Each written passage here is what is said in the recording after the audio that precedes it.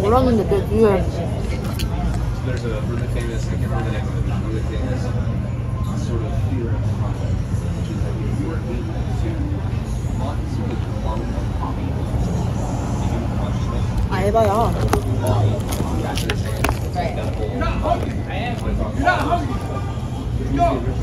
안 먹는데 왜 오지? It's taco that as, taco asado. So, 진짜 맛있게 먹었다. 이거는 그 소고기고요.